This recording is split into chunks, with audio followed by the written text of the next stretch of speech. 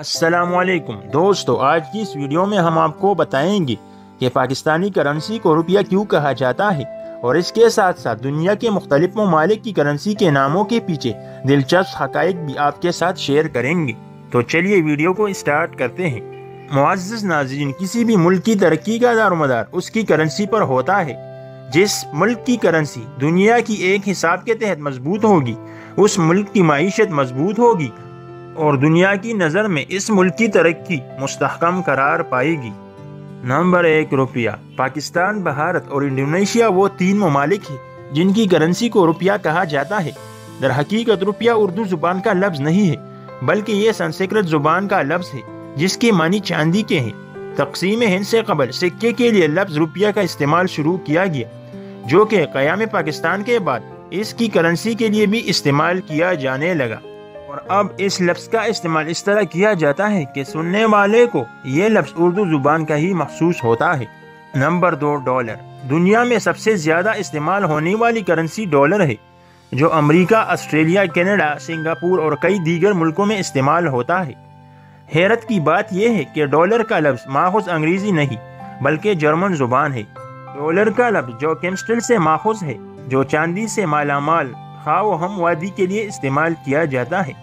इस वादी से हासिल होने वाली चांदी से सिक्के बनाए जाते थे, जो कि, जो केमिस्टर कहलाते थे, जो वक्त के साथ साथ तब्दील होते होते तेलर और फिर डॉलर में तब्दील हो गए। नंबर तीन, रियाल। सऊदी अरब, कतर, ईरान, यमन और ओमान की करेंसी को रियाल के नाम से पुकारा जाता है। आम इंसान की सोच यही होगी कि रियाल अरबी ज़ुबान का लफ्ज़ है। जबकि हकीकत में इस लफ्ज़ का अरबी ज़ुबान से कोई ताल्लुक नहीं, बल्कि ये लातीनी ज़ुबान का लफ्ज़ है, जो कि रिपालिस से निकला है। रिपालिस की मानी शाही होते हैं। इसी वजह से उन इलाकों में शाही हुकाम की जानब से जारी होने वाली करेंसी को रिपालिस की बिगड़ी हुई शक्ल, रियाल का नाम दिया गया। नंबर चार, पाउंड। दोस्तों, बरतानिया की करेंसी को पाउंड के नाम से पुकारा जाता है। यह पाउंड बरतानिया के अलावा मिस्र, लबनान, सूडान और शाम में भी बतौर करेंसी इस्तेमाल किया जाता है। ये लफ्ज लातीनी लफ्ज पाउंडलेस से निकला है, जिसकी मानी वज़न के है। माजी में पाउंड सोने के मुख्तलिफ़ वज़न के सिक्कों की सूरत में इस्तेमाल किया जाता था, जो वक्त के साथ करेंसी नोटों में तब्दील हो गया। मगर इसका नाम अभी भी पाउंड है। नंबर पाँच, दीनार। नाजरीनी किराम, कुवैत, उर्दन अलजायर और सर्बिया की करेंसी को दीनार कहा जाता है। दीनार का लफ्ज लातीनी ज़ुबान के लफ्ज दीनार से निकला है। कदीम रूम में दीनार का इस्तेमाल सबसे पहले नज़र आता है ये चांदी के बने हुए सिक्कों को कहा जाता था, जो कि अब कई मुल्कों की करेंसी बन चुकी है।